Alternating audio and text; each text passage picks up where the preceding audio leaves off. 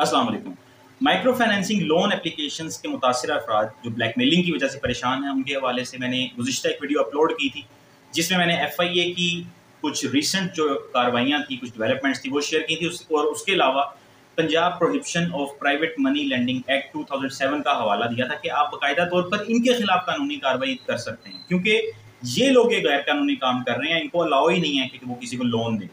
अब जब ये गैर कानूनी काम कर रहे हैं तो आपको पता होना चाहिए कि आप उनके खिलाफ क्या कार्रवाई कर सकते हैं। वैसे तो मैंने उस वीडियो में भी आपसे ये रिक्वेस्ट की थी कि अगर आप भी मुतासरीन में शामिल हैं तो फौरी तौर पर अपनी जो दरख्वास्त है, वो एफ़ आई ए जो भी मुतल ऑफ़िस है आपके पास एफ़ आई ए का, वहाँ पर साइबर क्राइम में इसको, इस इशू को रिपोर्ट करें, क्योंकि बहुत ज़्यादा हाईलाइटेड है हॉट इशू है, इनके खिलाफ कार्रवाई हो रही है। आप अपने स्क्रीन शॉट्स वगैरह कॉल रिकॉर्ड्स वगैरह उनको सुनवाएँ, उनको दिखाएँ और सबूत के तौर पर पेश करें और इनके खिलाफ इस कार्रवाई का हिस्सा बने। उसके अलावा लीगली अगर आप इस चीज़ को परसू करना चाहते हैं तो ये आपकी स्क्रीन पे भी मैं आपको दिखा दूँगा।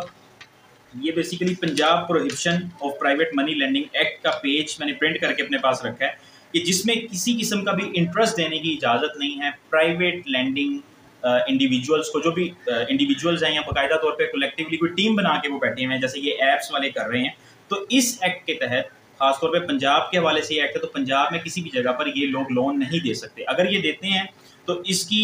ये आर्टिकल जो थर्ड है, इसकी तीसरी दफ़ा की बेसिकली ये लोग उसके खिलाफ एक काम करते हैं,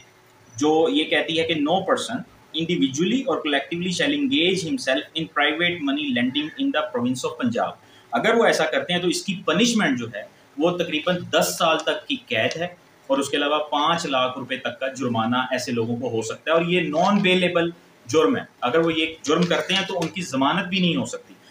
मसला सिर्फ़ ये है कि हमारे यहाँ पर लोगों को इतनी अवेयरनेस नहीं होती। खासतौर पे ये सीधे साधे लोग जिन्होंने दस दस बीस बीस हज़ार इवन तीन तीन चार चार हज़ार रुपए भी कर्जे लिए हैं उनको इस चीज़ का इदराक ही नहीं होगा कि उनके खिलाफ कोई कानूनी कार्रवाई नहीं कर की जा सकती बल्कि कर्जा देने वाले गैर कानूनी काम कर रहे हैं उनसे डरने की आपको कोई ज़रूरत नहीं है। अगर आप भी उन मुतासरीन में शामिल हैं कि जिन्होंने कर्जा लिया और उन्हें कॉल्स आ रही हैं या उनके रिश्तेदारों को कॉल्स आ रही हैं तो आप ये जहन में रखें कि आप इस एक्ट के तहत भी उनके खिलाफ कार्रवाई कर सकते हैं लीगली उनको आप आ, आ, उनके खिलाफ कोर्ट में जा सकते हैं और उसके साथ साथ आप अदारे भी आपके लिए काम कर रहे हैं। आप एफ़ आई ए में साइबर क्राइम में बाकायदा तौर पर इन इशूज़ को रिपोर्ट कर सकते हैं और आपके साथ जो भी मसले मसाइल हैं, आप उन इशूज़ पर मबनी एक दरख्वास्त, एक तहरीरी दरख्वास्त इन ऑफ़िस में जमा करवा सकते हैं। तो किसी भी किस्म की ब्लैकमेलिंग के लिए परेशान होकर, किसी भी किस्म की ऐसे हरासा करने वाली जो वो कॉल्स कर रहे हैं, उनसे परेशान होकर खुद को नुकसान ना पहुंचाएँ, परेशान मत हों। एक काम हो गया है, अब ये देखें कि इससे छुटकारा कैसे हासिल करना है और जो सरकारी सतह पर कार्रवाइयाँ हो रही हैं, उनका हिस्सा बने।